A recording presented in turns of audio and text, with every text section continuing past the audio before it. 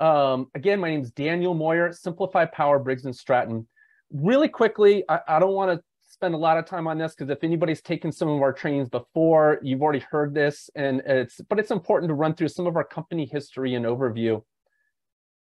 We were originally founded in 2010 as OES Energy, and OES Energy had developed these lithium ion battery packs for the film and broadcast industry. And we were unique at the time because we were one of the first companies to hit the market with an LFP chemistry or a lithium iron phosphate chemistry, as opposed to some of the cobalt based chemistries that have been on the market. So 2010 is actually kind of ancient history when it comes to these battery packs. And so we've had this time and this experience over the past 12 years uh, to develop our battery packs, to develop our intellectual property that we put into our cell packs, into our battery management systems. So we've always done LFP chemistry since our beginning. Uh, and so we've really built on that experience. We partnered with the military in the 2011, 2012 at that time, the military was operating uh, on these forward operating bases, uh, diesel generators and uh, lead acid batteries that were dead on arrival. So we were able to approach the DoD uh, with a lithium ion battery. Initially, they didn't like the idea of any lithium ion batteries because at that time, cobalt had such a dangerous kind of reputation we explained to them that we have a safer chemistry, LFP. They ultimately wanted to test it. They took our batteries out to the Aberdeen Proving Ground, which is out there on the East Coast, did a lot of high temperature, high movement testing, and ultimately they liked what they saw and we did deploy. 2013, 2014, we expanded our product line kind of more into the residential um, emergency response market. We introduced our Phi battery, which has still been one of our best selling batteries. And we're going to talk about that here in a couple slides. 2015, 2016, we relaunched as SimpliPhi Power and we uh, introduced our access unit, which is this cabinet here you see. There's uh, batteries here on the bottom and a couple industry leading inverters on the top, like a Sol-Ark, like a Schneider, and like our new inverter that I'm also going to be talking about. 2017, 2020, we've been ramping up manufacturing. Uh, we expanded our our our, uh, our factory line down in Oxnard, California. I'm really proud to say that we actually um, manufacture and assemble these battery packs in the United States. We've also had an uh, R&D facility that we've opened up in Oxnard to make sure we're staying ahead of everybody on um, the technology as it moves forward. We introduced our AmpliPhi battery, which is we're also going to talk about. It's a lot like our Phi battery, but it has closed loop communication capabilities. One um, thing that I'm really excited to add to this, this slide deck is this slide here. This is talking about how we've recently become acquired by Briggs & Stratton Energy Solutions, and we're now partnering with this company and with us to leverage their size, their resources with our technology and our reputation in the industry to come out with a new fully vertically integrated energy storage system. So we got our own inverter, we got our own app, and we've taken some of our existing battery technologies and repackaged it into an outdoor rated battery. Same battery management system, same cell pack, same form factors that we've always been had a history of now in this vertically integrated system. That's nice because vertically integrated means one tech support call. It means one warranty claim. It means one operating manual. It, it means one app. So you're not dealing with all these different cobbled together pieces of systems to make it work. That being said, um, we do still plan on offering our uh, Phi and AmpliPhi batteries that make great drop-in lead acid battery replacements for systems and they also pair perfectly with a lot of other competing in, inverters on the market. So we were founded on being safe. We founded on the LFP chemistry. Uh, you don't have to take my word for it. Why? Because we've gone to the UL and we've gone to the UL and had listings. Uh, UL 1642 is on the cell level, the individual cells inside of a battery. 1973 on the battery module level, right? So the cells that are in a pack comprised of a battery module, we have that UL listing. UL 9540 is on a system level. So we have several uh, cabinets that house batteries and inverters that have that UL 9540.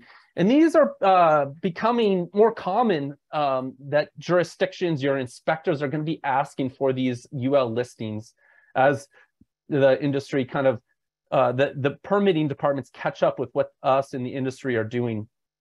9540A isn't a listing, it's actually a test protocol. And that was pretty interesting. What they did is they took um, one of our batteries and put it inside a larger uh, battery cabinet and inside one of the batteries, they wrapped one of our cells with a heating blanket or heating wrap and forced that cell into thermal runaway.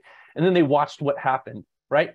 The cell went into thermal runaway, but it didn't really propagate to any of the surrounding cells. Those surrounding cells didn't catch fire themselves and spread to other battery modules. Battery module didn't spread to other modules inside the cabinet, and it didn't go outside the cabinet. So it's uh, important to understand these. We are one of the few companies that actually uh, publishes our 9540A test results. You could go to our website right now and download that test result and take a look at it for yourself. A lot of other companies will uh, hide that because they don't want to show actually what did happen. And a lot of those other companies are uh, cobalt based. Again, I mentioned you're going to need these as we move forward with these uh, AHJs and these inspectors uh, becoming more aware of what these UL listings are Maybe you're off grid. Maybe you're never going to have an inspector come out there to your house. You probably still want to look for a UL listing because of insurance purposes. Uh, if there's an event uh, and the insurance adjusters out there, they're probably going to be looking for that. Uh, sometimes when you sell an off-grid property, they're going to be looking for these UL listings. As I mentioned uh, earlier, we were founded on being safe. That's, that's what we've always focused on.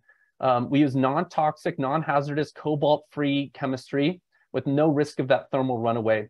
We have those UL certificates that I talked about just a slide ago, but we also ho hold a Department of Transportation certificates, right? DOT. Uh, 3480 allows us to air, um, I'm sorry, allows us to ship with LTL, right? Uh, freight trucks. And 38.3 is what allows us to air freight them or air ship them. SGIP, for those of you in California, uh, the self-generation incentive program. There's a lot of money uh, for these systems to go in, especially if somebody's on a well pump or um, a medical device. They might get the whole system paid for. I, have I've helped customers do this before. So we are approved. Uh, being a cobalt-free chemistry, we're able to avoid some of the um, bad things that happen in that supply chain, usually using um, child labor to mine cobalt. We're proven Again, we're one of the few companies that's been making batteries longer than what their warranty life is for, right? So we have a 10 year warranty. And so we have batteries in the field that are outliving their warranties. Uh, if you have buy a battery from a company that's two years old that's offering a 10 year warranty, well, they, they, you know, how can you do that if you haven't really proven that? So with that uh, experience and growth, we've deployed to over 40 countries. Uh, this number, that 100 megawatt hours installed is, is a little low. It's probably more like 150 megawatt hours installed worldwide. Talked about how we worked with the Army and the Marine Corps. Another thing that I'm really proud to talk about, and I don't want to just gloss over this, is that Simplified Power Briggs and Stratton has a, a business model that can demonstrate social in social impact and profitability can coexist, right? It's the triple bottom line, uh, people, planet, and profits. So we've uh, have an idea program where it, we give back 1% gross to projects around the world that uh, help disadvantaged communities, help uh, projects that are doing good. And if you have an idea for one of those, or you want to work with us and partner on something like that, take a look at our website and we have a, a form that you can fill out and submit your idea. We're able to airship them. We assemble in the United States we've always wanted to focus on being simple, right? It's in SimpliPhi's name. Um, we want to make sure that you can take one of our batteries and drop it into a system that maybe is already existing and with just a little bit of reprogramming of that charge controller and that inverter make that battery work uh, we want to be able to store that energy for that critical power maximize that resilience and energy security help people save on time of use peak shaving um, and demand charges. Uh, this one, I want to really quickly focus down here. This is something that we're, actually offering a promotion on right now is our little Jenny and big Jenny. These are uh, kind of like Pelican case systems where internally here there's a small battery, one of our small batteries, a small inverter, a small charge controller that allows you to kind of um, uh, go off grid without having a full system. And we've running a promotion now because of some of what's happening in uh, Florida, and but the, it's a countrywide promotion, Energize America. So take a look at um, your LinkedIn accounts. Uh, we're, we're pushing that out right now. So how any energy storage system can help customers reduce their power bills. Any energy storage system, not just ours, can help prevent uh, people from their power going out from failing infrastructure. And then any energy storage system is going to help uh, move our world to this carbon-free uh, future. Utility prices here in California are going up uh, at least 15% in the last 10 years. I've seen that going up even more as natural gas prices have continued to rise. Uh, Europe, um, that number is probably pretty old, um, considering what's happening with their energy concerns. Um, if anybody's ever had to run a diesel generator, you, you know that jet, uh, diesel prices have gone up a lot. Um, utilities are doing interesting things to raise our price, right? They're implementing time of use rates where during certain times of the day, electricity is more expensive. Well, we can tell the energy storage system to discharge itself during those periods and not use power and then buy from the grid when it's cheap. Surge pricing is a little more common with commercial units, but again, we can tell the system to shave those surge price peaks off and not um, avoid surge pricing. So we can save money using energy storage. Obviously, the utility grid um, isn't what it's been up, isn't keeping up with what it needs to be. I know here in um, Northern California, Pacific Gas and Electric is desperately trying to bury electric lines because they've had to shut down a lot of their lines uh, when high wind events come along. Um, so it's it's important that we understand that the grid isn't isn't really being funded the way it should. Uh, we're starting to put a lot more demands on the grid with our electric vehicles, with our heat pumps, with our all electric homes. So having a distributed assets, having energy uh, at the home gives you that resilience. Uh, you know, the environment matters. Um, when you when I've sold solar systems, usually, you know, helping people save money is at the top of their mind. Helping people keep their power on is at the top of their mind. But the environment isn't necessarily that far behind. And using um, distributed assets using storage to help store intermittent power generation sources is what's going to help us move to this uh, clean energy goals that we're setting for us so let's get into what we came here all for is, is battery chemistry as I mentioned before, we use LFP battery chemistry, which is um, a safer chemistry, right? Cobalt-based chemistries have a time and a place, right? Uh, Cobalt-based chemistries are more energy dense. They're lighter weight. They're more compact. That's why they're used in our phones. That's why they're used in our laptops. That's why they're used in our cars. But when we're talking about energy storage, excuse me, for our homes, we don't care about lightweight. We don't care about energy density. Why? Because it's stationary. What we care about is safety, that we're going to get, you know, 10 plus years of cycling this battery without any risk of thermal runaway, no toxic elements. They're, they're not necessarily landfill safe, our batteries, but they're a lot easier to recycle than a cobalt based chemistry, right? There's a big push in the industry to recycle batteries. Uh, recycling solar modules is is a uh, big thing. I was just recently down in um, uh, RE Plus at, in Anaheim at the Solar Expo. If anybody else was there, um, go ahead and raise your hand. Let us see who who maybe was in there, or put it in the chat if you were able to make it to the show. But uh, there were a few booths. Great, I see a couple people raising hands. Um, there were a few people that their whole business is predicated on the recycling or reuse of solar modules. So it's, it's catching up.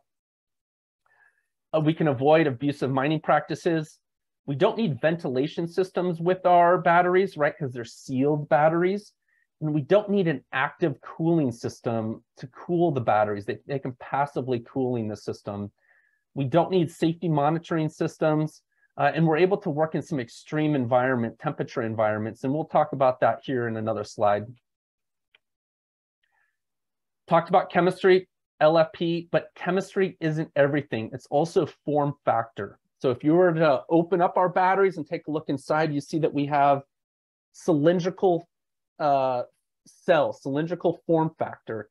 And what this means is that they are a little bit more stable than some of the other form factors, such as a pouch or prismatic. So a cylindrical form factor is, is encased in a metal case. The negative and positive side of the battery are at opposite ends. So if anything were to actually happen, it, it's more contained in that metal case. Whereas a pouch cell is more prone to puncture. Uh, it can swell and deform. I know, I've seen examples of laptop batteries or even cell phones that are puffed up. Prismatic cells, there's nothing wrong with that. They just tend to be a little bulky for our, uh, our application. Jumping in, what is thermal runaway?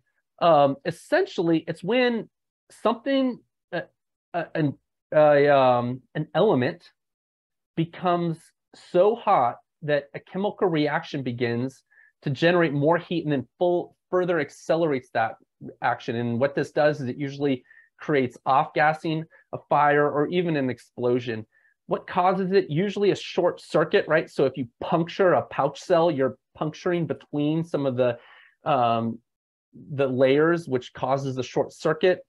Um, other also external um, heat sources can cause the, the fire to go into an uncontrolled thermal runaway where it spreads from cell to cell. That's an example of a cell phone there, um, the Galaxy Note 7, which was banned on uh, flights. LFP can still go into thermal runaway.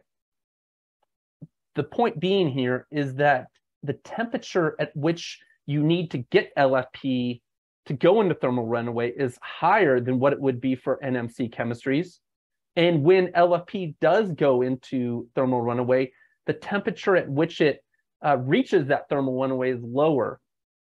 It's also important to note that there's, and I'm not the chemistry expert. I have one of my coworkers, uh, Nathan Heston, on this call here, and he can chime in a little bit later on, on the exact chemistry of why uh, LFP releases less gas than NMC, but for me, it, it does. It's, it's simply not going to outgas as much.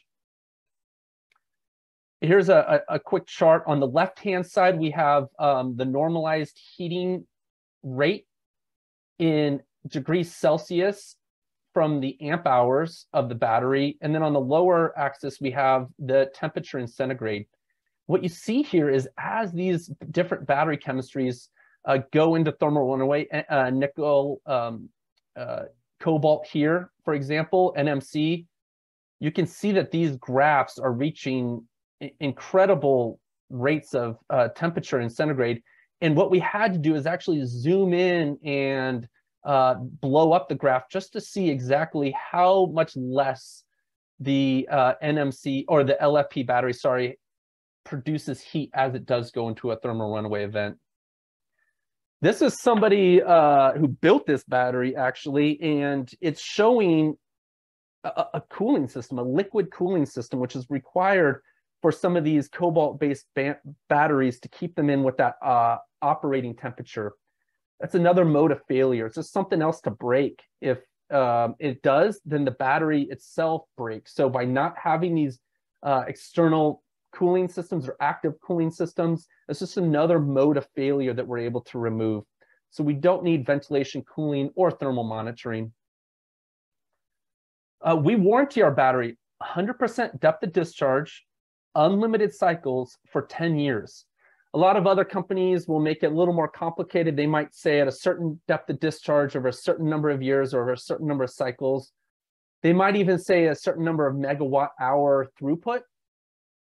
We wanted to keep it simple. Although we do warranty to 100% depth of discharge, I'd really like to see everyone design their system for an 80% depth of discharge. That's going to give your customer the most life of the battery after that warranty period's up. Even if you do run them down to 100%, we're still, still guaranteeing 80% uh, end of life capacity, right? So the battery's still going to retain 80% of its usable capacity at the end of that warranty period.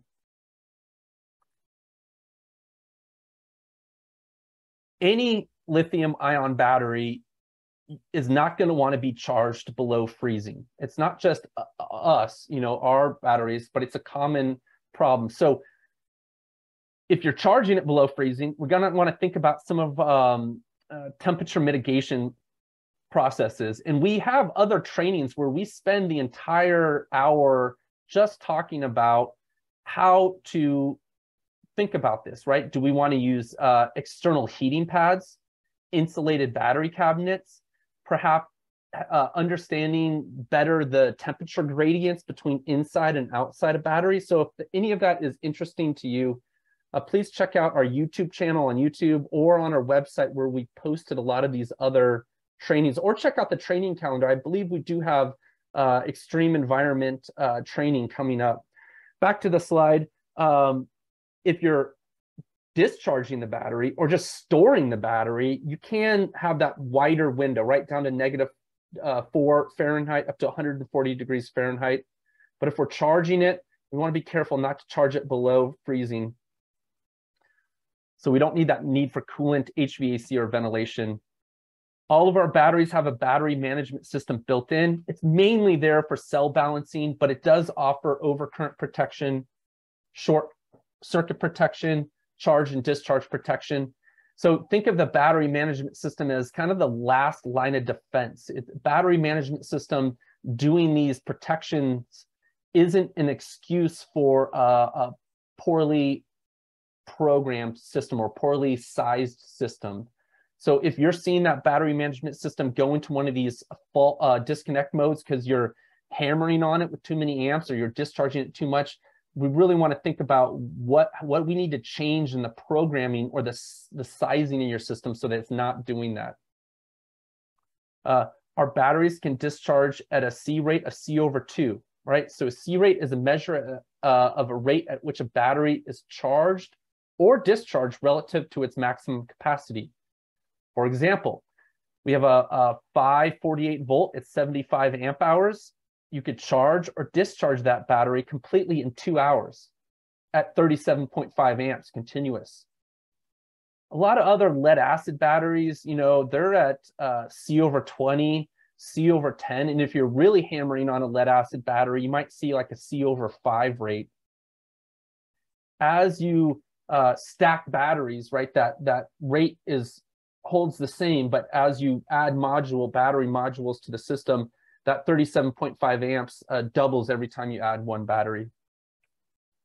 What we've always been really uh, proud of is our ability to scale up systems. We think of our uh, batteries, our inverters as a building block to scale up to what you need rather than selling large uh, blocks. We're selling you incremental blocks to, to build up.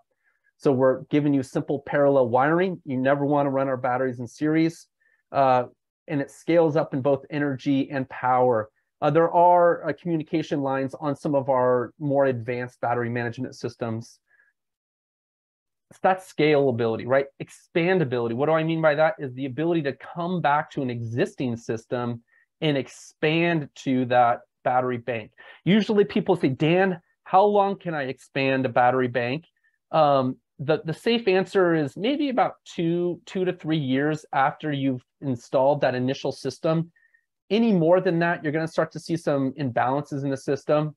But going to a homeowner and, and maybe the homeowner doesn't have enough money to get this the biggest system that they want.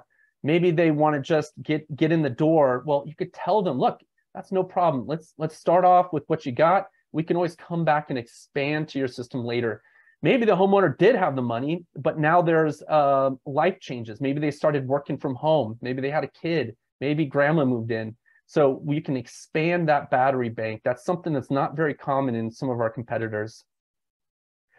Uh, this is what it looks like right? This is a, a, something we scaled up on the left hand side. This is 80 of our batteries I believe this is in an airport hangar in Hawaii. What I love about the picture is these, these bus bars, these custom made copper bus bars.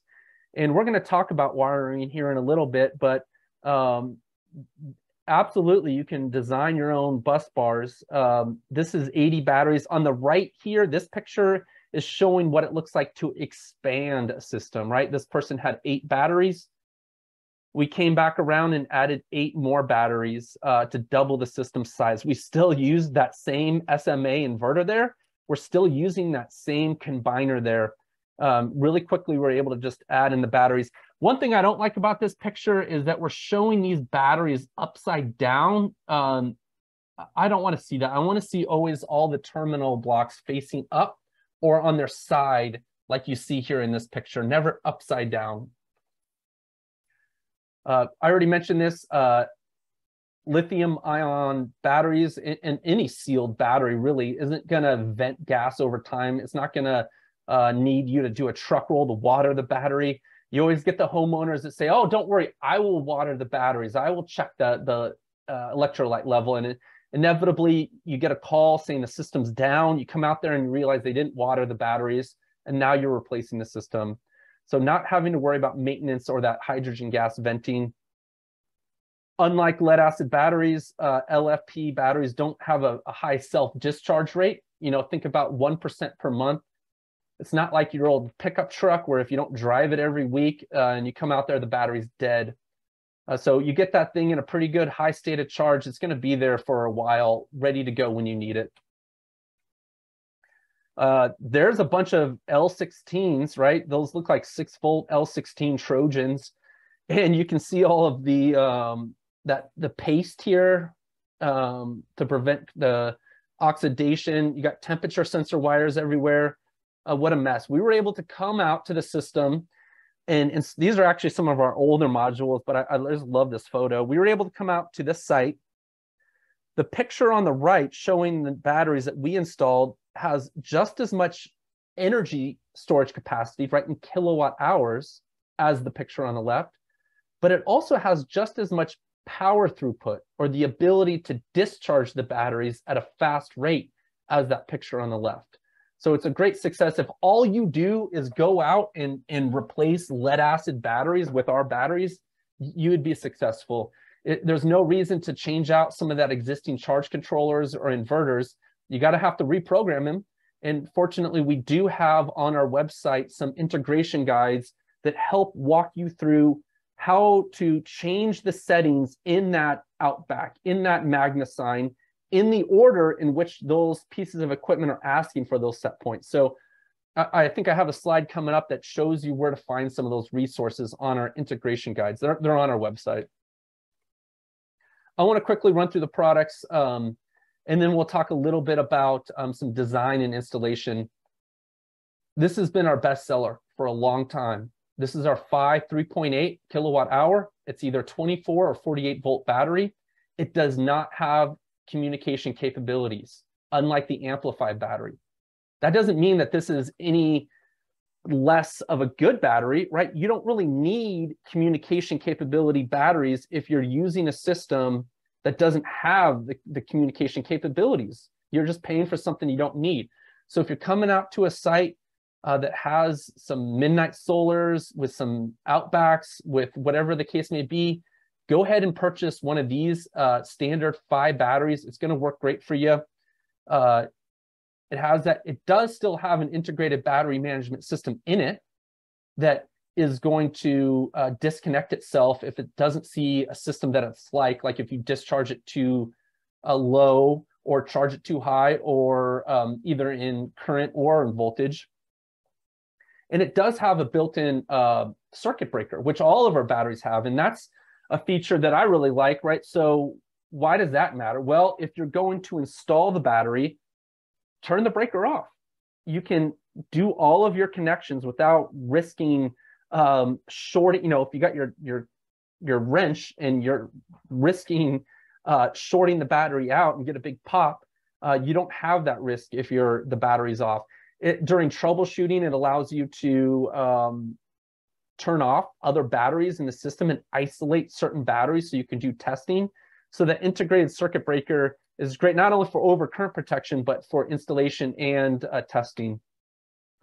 We do make a smaller uh, PHI 1.4 kilowatt hour battery, and this notably comes in 12 volts uh, and 24 volts. This is great for mobile applications. So if anybody has, uh, I don't know if some people were at the show, there was a, um, everybody's getting these Sprinter vans or these uh, these Ford Transit vans, and nobody buys standard RVs. Everyone's doing these van conversions, and I love seeing um, my Facebook groups where you can see uh, people how they think about these systems. These make a great um, solution for people doing these mobile applications right? It has a, a integrated battery management system and breaker.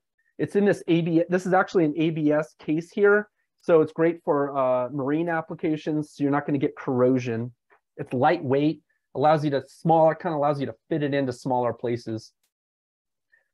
Uh, this is one of our two energy storage systems. This is our express energy storage system.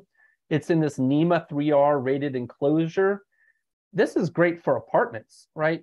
Maybe you have a situation where you cannot hardwire something. You can roll this in. It has a DC inlet to, to charge up the batteries, right? It just runs right through this little charge controller, charges up the batteries. You don't need solar, right? Because here's this MagnaSine charger inverter. So you can have AC inlet. So you can plug this into the wall and it's just simply keeping these batteries charged if grid goes down, you have AC outlets that allow you to charge up your lights, your computer, your cell phone, whatever the case may be. I like it for uh, service changes. Say we're going out to a homeowner's house and we're doing a service upgrade. Maybe we're doing a 100 to 200 amp service, and you got a retired couple inside and they still want to maybe watch TV or make lunch. Well, roll this out to the job site, run a little extension cord in for them, and you got a couple extra outlets for the workers to charge up their uh, tools and, and or maybe run a saw if they need to. It's the Express ESS. That's a portable one. This ESS or Access Energy Storage System is permanently mounted. So it comes in the same NEMA 3R cabinet we have a couple industry leading inverters in there. That's the Sol-Ark uh, 12K, it looks like there. Uh, but we can also do uh, a Schneider XW Pro and our new inverter as well, which is coming out. We have the 9540A listings on this uh, cabinet, so you know you're going to be able to pass that inspection.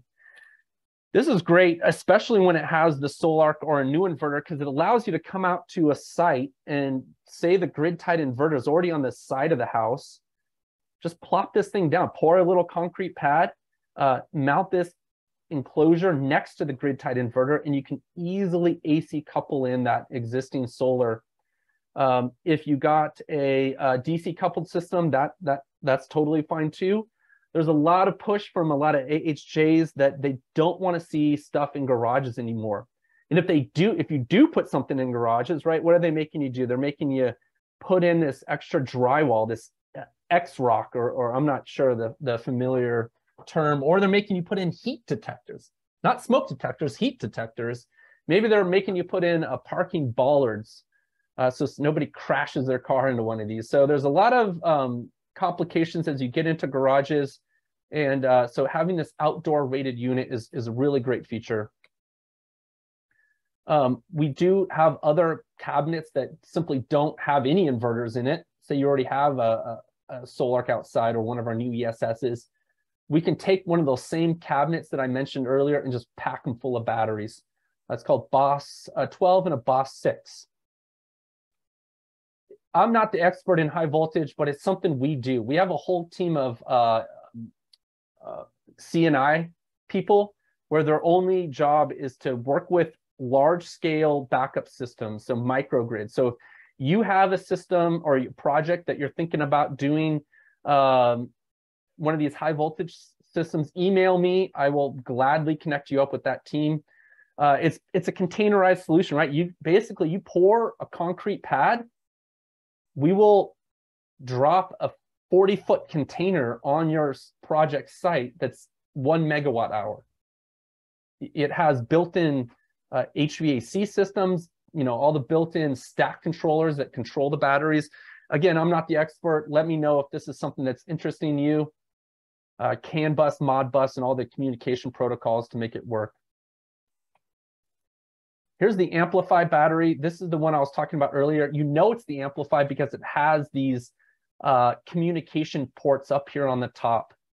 Uh, there's no external communication uh, card that you need to install. Uh, we can do 100 amp discharge max at 10 minutes. That's great for starting well pumps, for starting uh, motors, maybe a dryer. It actually does have a built-in 10K thermistor inside this battery that's communicating with the battery management system, which in turn communicates with the inverter charger. It telling the piece of equipment, hey, uh, we're getting pretty close to freezing. Let's go ahead and slow down my charge rate or discharge rate. And at some point, when it reaches below freezing, it will actually tell the piece of equipment, the inverter charger, charge controller, to stop. So having that temperature protection built in is a nice feature so you don't destroy your batteries. Um, why are communications important, right? Because some pieces of equipment, when you're trying to determine the state of charge of a lithium ion battery based solely on voltage, isn't the most accurate. When we use communication uh, based protocol batteries, we're able to tell the piece of equipment what its state of charge is. It's also telling the inverter what the maximum charge rate or discharge rate is so it's um, compatible currently with SMA, Sol-Ark, and our new inverter. That's our new inverter right here, right? Um, with the partnership with Briggs & Stratton, we've released our new energy storage system. This is kind of a teaser slide. I'm going to go really quickly um, into one other topic, and then we'll circle back to this. But these are the batteries, 4.98 kilowatt hour batteries same chemistry, same form factor, same battery management system we've been making forever, now housed in this outdoor weatherproof enclosure. The inverter is also outdoor rated IP65, um, and that's right there on the top.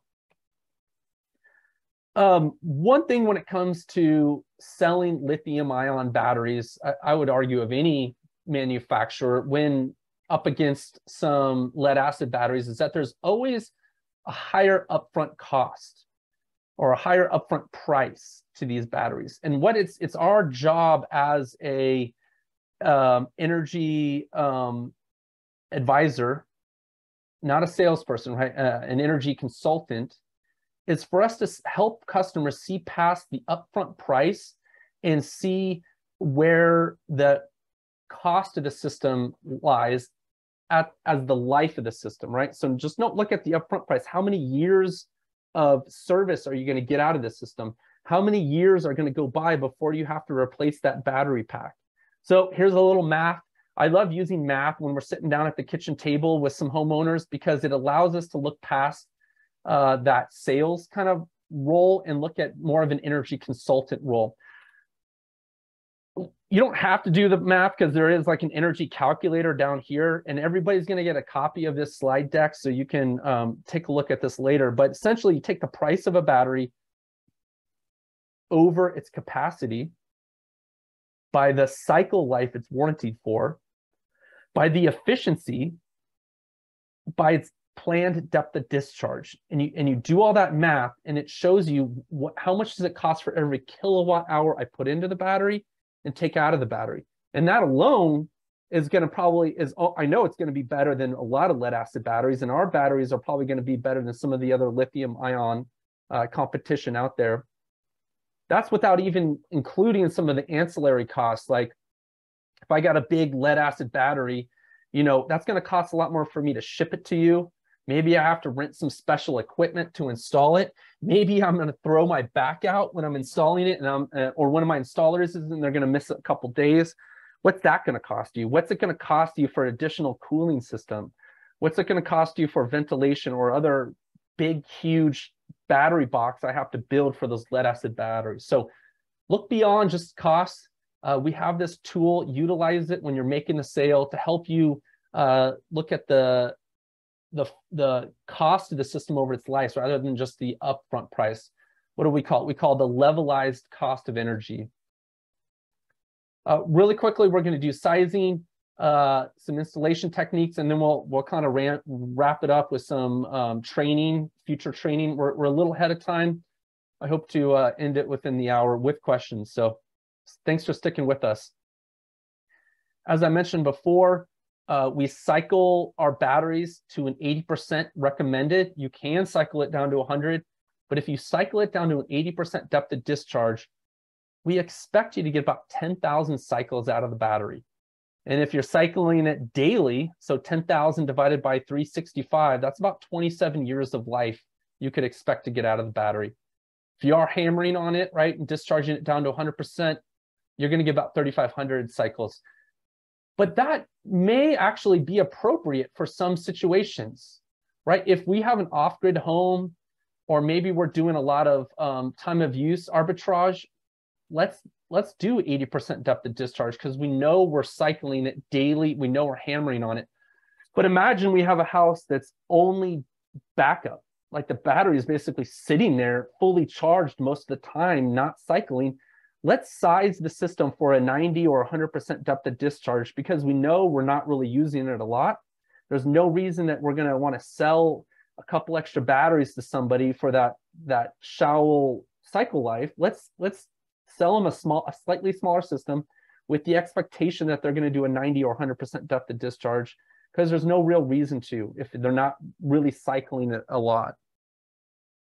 But if it's off grid, please let's do an 80% uh, depth of discharge sizing.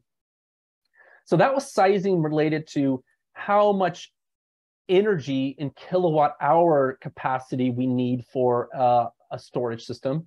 But we also have to think about what's going to be the maximum demand that the batteries might see to power loads, right? So in power, in watts or kilowatts. Here, this is a great, this is an example I always, my go-to example. Here's our Radian uh, 8,000 watt inverter. If for whatever reason, this inverter needs to output all 8,000 watts, it's going to start drawing on these batteries. And what I want to see is that we have enough batteries in the battery bank to where we're not going to exceed that continuous charge or discharge rate of our batteries, the C over 2. Let's go back to that 3.8 kilowatt hour battery. At C over 2, its maximum discharge rate is 1.9 kilowatts. So a little under 2.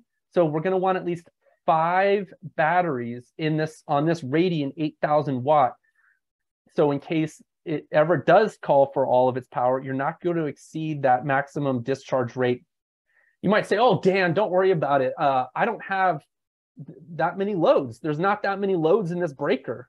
Well, what if somebody comes back along and adds loads? That could be a problem.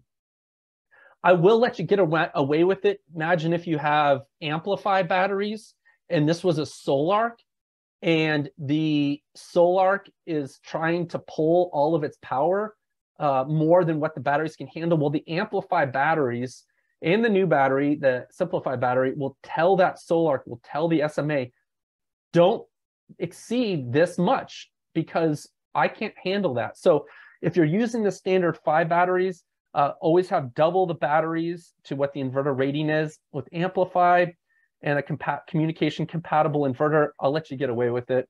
You can see in this example, although they only needed five batteries, it looks like they needed more batteries to maintain the energy storage capacity to meet the home's loads. Here's some tools. I'm not going to jump into them today. Uh, this first tool is simply there to help you estimate your battery bank size. So you put in what's my consumption daily, how many days of autonomy I want to do, what do I plan to discharge the batteries down to, it'll spit out how many batteries you need. This second calculator is a little more advanced. This one will take into account what you what pieces of equipment you already have so that you're not exceeding those charge or discharge rates. It gets a little deeper into some of the um, the, the uh, days of autonomy as well. And then this last calculator is, is great one. If you got somebody that has lead acid batteries, put in what you got. What are they? L16 Trojans, six volt. You got eight of them.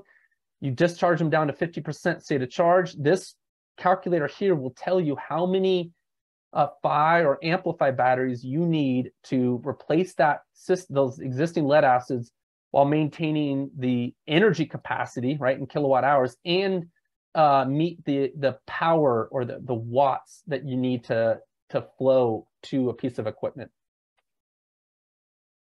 We're going to do installation, uh, and then we're going to finish up with some training. Uh, we spent a lot of time working on our integration guides. I mentioned this earlier. Here's the link to product documentation. You're going to find the manuals, the spec sheets.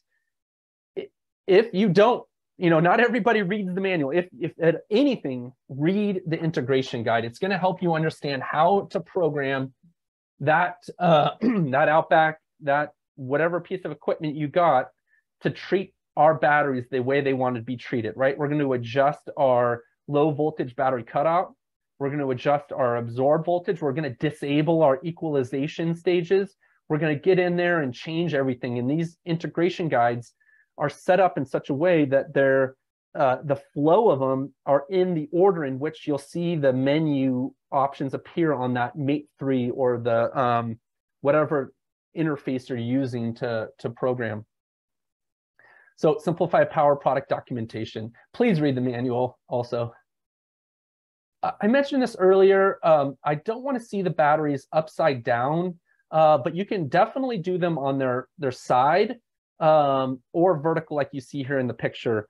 You can see that we got these wall brackets uh, that really nice. You don't have to use them. I've seen a lot of custom uh, cabinets built. You, you could theoretically put them right up against each other. In this example, they're spread a little bit far apart. Um, you might get a little bit extra heat buildup.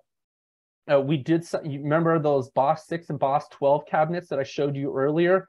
That's another great uh, solution if you don't want to do a, a, wall hanging bracket. When it comes time to wiring our batteries, um, in the um, good old days, the lead acid batteries, right? You usually run a few batteries in series and then parallel up some, and then you create your, your bank.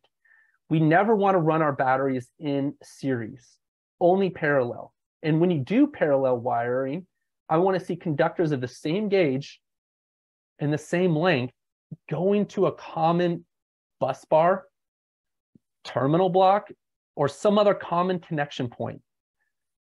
That way, we're going to treat each battery just as hard as the next, and we're not going to get any impedance in the lines. That being said, um, we don't want a daisy chain, right? Daisy chain would be positive, positive, positive, positive, then up to the piece of equipment, negative, negative, negative, then up to the piece of equipment. We don't want to see those on the or the amplifier. Just to make things more confusing, we are now allowing that on the new ESS system um, up to four batteries. And I'll show you here a picture in a second. This is an example. If you're using the Phi, the uh, AmpliPhi, or you're using our new battery with more than four batteries, you are still going to need to use some sort of combiner to, to bring all of those battery cables to a common connection point, and then from that common connection point, using a much thicker conductor to go to the piece of equipment. That's a, a MidNite Solar, a thousand amp combiner there. Uh, Victron makes some, uh, Blue Sea Systems makes some. Uh, maybe if somebody wants to put into a chat what their favorite combiner is, that'd be fun to see. But um, keep in mind, we want to have each battery working just as hard as the next. And by using combiners, that's how we accomplish that. Here's a quick example of what it looks like um, for a DC coupled system, right? Here's some solar modules. These look like Tigo TS4 F, probably fire. They may be O's, I don't know. Uh, here's our Tigo transmitter. The Sol-Ark is actually feeding a 12 volt to the transmitter, which is then sending the keep alive signal up the wires. Uh, the Sol-Ark has that rapid shutdown button if you ever need it uh, to meet uh, code. Here's a critical load subpanel. Here's grid, right, feeding into non-backed up loads, which is then feeding into the Sol-Ark. Here's our combiner and two Boss 12 cabinets. If you only had one Boss 12 cabinets, you wouldn't need this combiner because it's hard, a little hard to see, but there actually are a couple of um, bus bars, one negative, one positive. I think they're actually more, they'd be more appropriate to call them terminal blocks inside here. I guess it's terms interchangeable.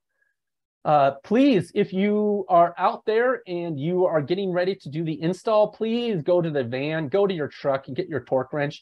Don't let one of your guys get an impact driver and go to town on one of the, the battery lugs and snap it off.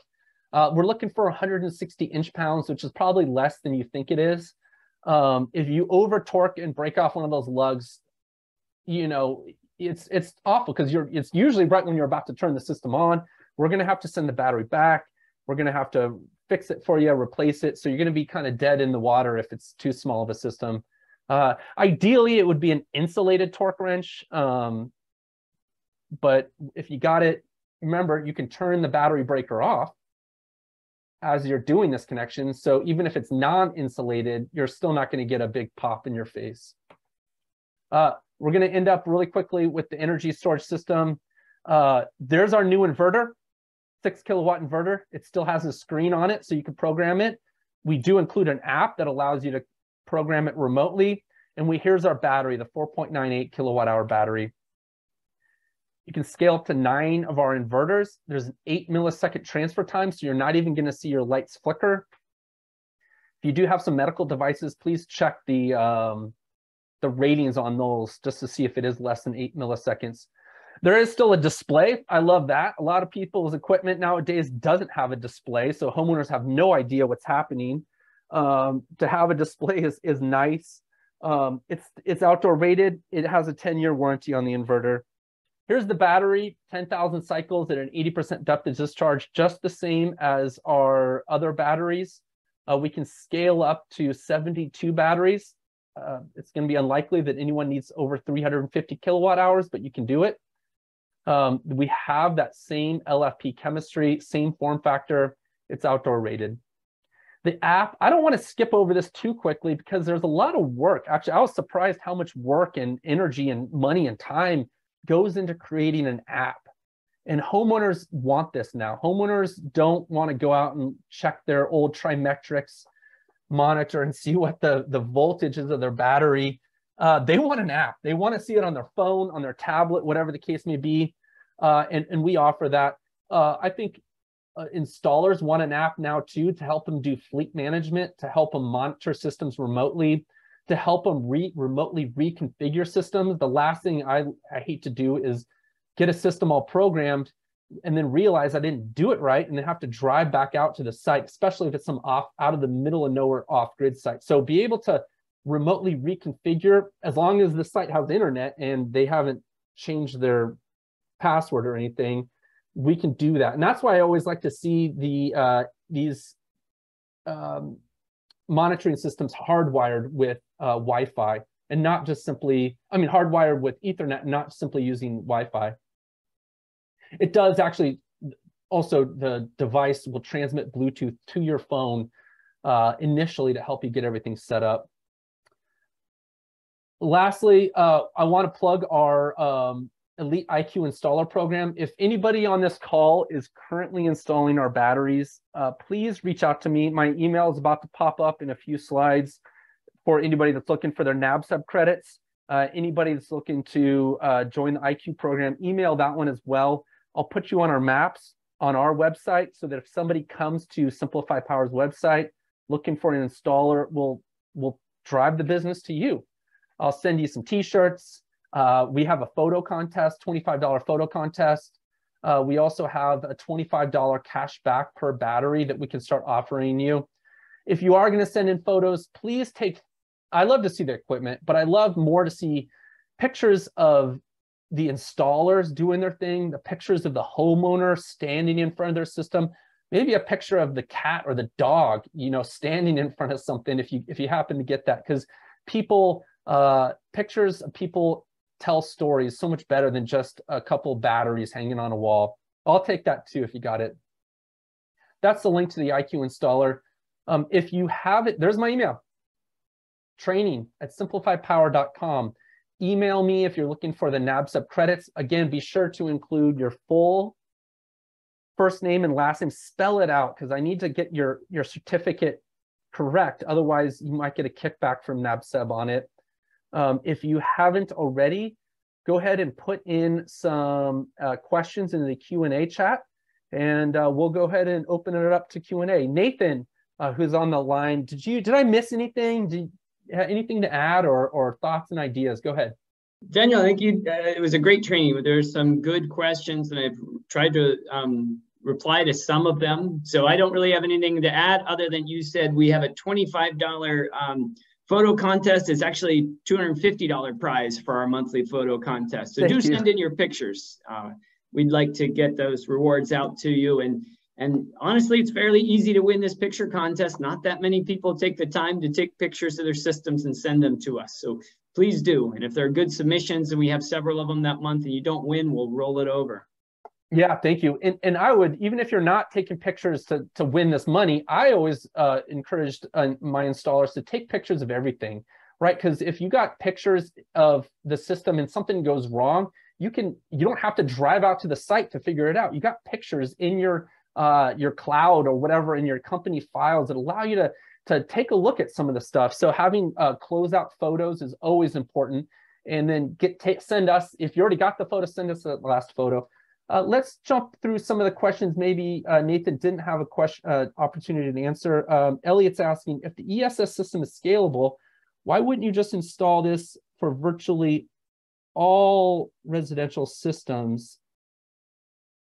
Uh, I'm not sure um, maybe you can expand on that question. So I think uh, what he means is, can yeah. can this work? Can our ESS work for just about anybody's system? And the answer is yes, right? So if if you have a small off-grid installation that that the customer only wants maybe five kilowatts of power, right? This will work for it. But if you have a family that's got a home that are running multiple air conditioners and you need 30, 40 kilowatts of power, yes, you can just parallel more of the inverters together, five inverters together, and you're up at 30 kilowatts of continuous power, right? And it'll surge, right, to, to one and a half times that at 45, right? So, so yes, that's the idea is that you think of these inverters and batteries as building blocks to hit just yep. about any size that yep. you like. Um, I do want to answer, I answered these questions um, in, in the chat, but a number of people had asked about our cells and whether or not we manufacture those in Oxnard. We do not want to be fully transparent. We do use a supplier that's in Asia, but we've had this agreement with this same supplier for 10 years, and we feel like the cells that we're offering are premium cells that, that we've worked with the, the manufacturer to refine over the years. And so we feel like they're the top of the line. Um, there are there was another question about whether or not we use, um, you know, American-made components inside our batteries. Yes, um, our battery housing, uh, for example, terminals, um, these are manufactured in the United States. Uh, we use some components external, right, and, and some that are uh, uh, locally sourced, right? So we have global and locally sourced parts. So yep. trying to be fully transparent with my answers there, we just don't disclose um, the, the manufacturer of our cells. Yeah, um, absolutely. And it's important to note that we do assemble the cell packs in the United States. So I'm really proud to say that. And I've seen the factory line. Um, so by having, you know, we American engineering to, to select the, the best cells we possibly can get and then assemble them here in the States. Right. We have a, a, lot of quality controls on our batteries and, you yep. know, having them manufactured in the US means that also if, you know, if you do have problems, it's easy for us to diagnose. We have engineers, we have um, technicians that, that will look at any kind of problem. So anyway, uh, wanted to mention that we had a great question about vanadium batteries, and I honestly can't tell you that much about them, um, but there seemed to be some interest in those. Daniel, I don't know if you know more about vanadium batteries no. than me. No, I think so. one of more. one of the things that causes inefficiencies in batteries is the the migration of the ions, and so the migration of ions as they move from the cathode to the anode in the battery um, can can create heat inside the battery. And so if you have a really heavy element, really heavy ion uh, like vanadium flowing, you've got a lot of kinetic energy with that flow and that can turn into heat. So the one thing I do know about vanadium batteries is the round trip efficiencies are much, much lower than lithium. You know, we're looking at efficiencies in the 90%, right? 94% round trip efficiency, 92% round trip efficiency. Uh, and I think that that's the big holdup for vanadium batteries. They also have a lower voltage. I think it's like one and a half volts per, per cell. But um, again, I don't know that much about them. I just thought we could try to address that question. Thank you, uh, Nathan. Uh, yeah, that's great. Yeah, I love chemistry lessons. Um, Daniel, there's some other great ones here that I think you're better suited for. Um, somebody was asking about um, the the return on investment, and I think you have some answers to that. So, is there a calculator available where you can see when the payoff period is? Was one of the questions. Yeah. So the um, the levelized cost of energy is, get, is going to help you understand that. Really, you have to use some tools like Aurora Solar, or Open Solar, right? You're going to put in how much solar you would plan on installing, how much battery you plan on installing, what their consumption is, what their utility rate is. And these uh, these programs like Aurora, like Open Solar, like PV Watts will do the math for you. So it depends upon how much energy they're consuming uh, what rate schedule they're on, right? Because you could be on a time of use rate, you could be on a, a, a low income utility rate, you could be on a, a heating only electric heating rate. So really to understand that those math questions, there's programs out there like PV Watts, um, uh, Aurora Solar, Open Solar, which is a free one that you can that does all the math for you. That gives you the payback time, right? Is it eight year payback for a customer, a nine year payback customer? Uh, Nathan, I also saw a good one is that uh, a lot of people, and I've noticed this in the industry, is that in the good old lead acid days, we always said, oh, it's a 100 amp hour battery. Oh, it's a 200 amp hour battery. But in these new ESS batteries, we always rate the batteries in kilowatt hours. And, and it's really simple math, right? All you do is if it's a 100 amp hour battery at 12 volts, well, that's 1.2 kilowatt hour battery. So it's just interesting that we've kind of changed some of the nomenclature on there. Is there another good question you got from me, Nathan? Well, I think I think to add to that answer, Daniel, um, one of the reasons we do that is that all the lead acid batteries were almost always standardized at 12 volts, right? Occasionally yeah. you would have some 24 volt systems, but really what you want to know is how much energy your battery will hold. And kilowatt hours are that's that's a unit of energy, right? If you specify just amp hours and you don't know the voltage, you don't actually know how much energy is in the battery. Yeah. Additionally, with a lead acid battery, right, you don't really get 100% depth of discharge. So even if you do specify the amp hours and the voltage, right, you have a certain amount of energy in the battery, but you can't use it without damaging the battery. Yep. It's important to note that LFP batteries, you can discharge them down to 100% depth of discharge. And so it really is more appropriate to specify the amount of energy in the battery in terms of kilowatt hours. Yeah, thank you. Yeah. And, and usually and, take amp hours and multiply by voltage to get kilowatt hours. Yeah, and there you go. Yeah, and, and as you discharge a, a lead acid battery quicker, right? A C over five capacity is a lot different than a C over 20 capacity of a lead acid battery. Where we're rating our capacity at C over two discharge. Um, can there was another question about the uh, so Dan, Daniel, there was a question about our generator, the Express generator. Yeah, can the Express mobile accept solar panels to create a solar generator? If you could do that, what's the max capacity? Yeah, great question. Um, I would probably have to pull up the spec sheets on it. That little charge controller in there, it looked like a 20 amp maybe charge controller. Um, but yeah, email us uh, and I'll email you back the spec sheet on what that charge controller is rated for. Um, you know 20 amps is still a, a pretty decent solar size a few uh, you know a couple large large panels. Um, but absolutely it's it's a great solution for something that's portable get some rolling panels or get some folding solar panels and put them out there so an easy calculation for you there is that our, our batteries charge up at just a little over 50 volts when they're charging. And so if, if you have 20 amps, 20 times 50 is 1,000 watts. So I don't know if Daniel's correct on that being a 20 amp charge controller. um, but if he is, then that would be about 1,000 watts uh, coming in. But we'll get to the spec sheet on that. Yeah, yeah, thank you. Um, here's another one. Is it possible to have different discharge charge current from the battery when mounted in parallel some cable length and connected to a bus bar?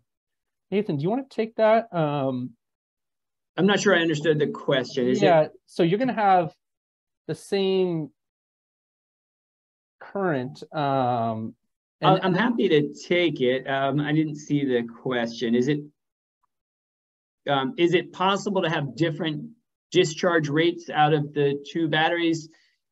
Um, I, I'm not sure I got the question right, but I will say that the batteries have to be uh, wired in parallel, right? And you really want to be discharging batteries um, at even rates, right? You don't want to be discharging one battery faster than others because then the battery you're discharging most rapidly will will experience the most amount of wear.